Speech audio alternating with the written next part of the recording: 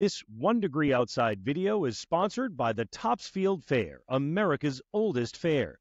You can pre order your admission, meal, and ride tickets today at topsfieldfair.org and join the fun October 4th through 14th, conveniently located on Route 1, just off of Interstate 95.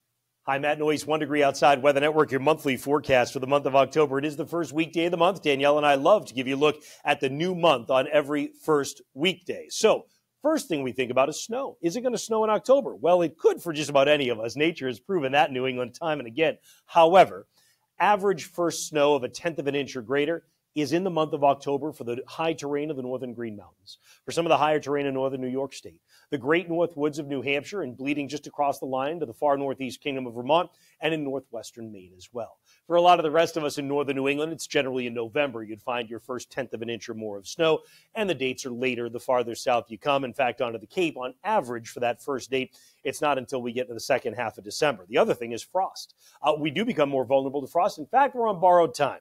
The average first frost date in Concord, New Hampshire has already happened. It hasn't happened yet. We haven't had frost as of this recording on October 1st, but North Adams, same deal. We are now past due for the first frost. So you want to stay tuned to the forecast all the way through. Notice the farther south you go, the later it becomes, particularly in some place like the metro center of Boston, where you don't find your average first frost until the beginning of November.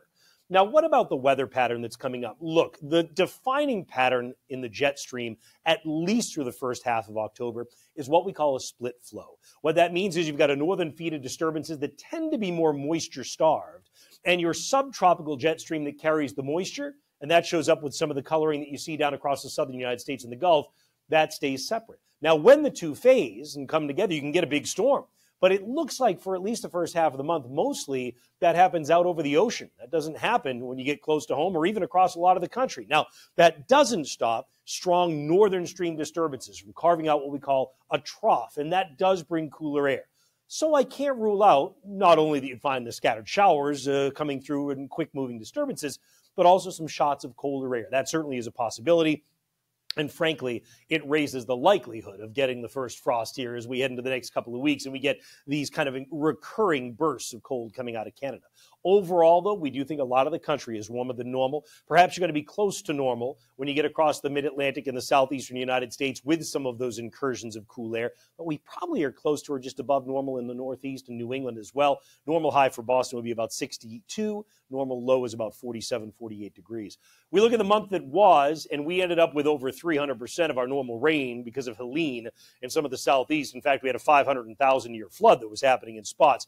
Generally, if you compared this to our forecast uh, at the beginning of September, this is pretty close. And the reason I say that is because I think as we head into October, it is a very different pattern. I think if you maintain that split flow in the jet stream and you just can't tap the moisture, you get this big, broad area of drier than normal conditions. Maybe the exception would be west of the Cascades in the Pacific Northwest as you carry in Pacific moisture. And the other exception would be across the far southeast, the Gulf Coast down to Florida, where the subtropical jet would provide some recurring showers and thunderstorms for perhaps tipping the scale to above normal precipitation, but unlikely to be the case here at home. By the way, how do we get 0.2 inches of snow on average in Boston if we're talking about a first snowfall date of a tenth of an inch? Doesn't happen until the end of November. Well, you've had some outliers, right? We've had some October snows that have been heavier, so it may throw off your average on amounts while it doesn't necessarily change the average first date, if that makes sense. All right, meanwhile, you can go to the App Store or Google Play and stay posted all month long. Get the 14 day forecast, the hourly forecast, or the radar when there's rain or snow that's ongoing. Just search Noises, one degree outside weather. That's the way things look for now. Thanks for checking in. Look forward to seeing you with more of our videos throughout the month at one degreeoutside.com.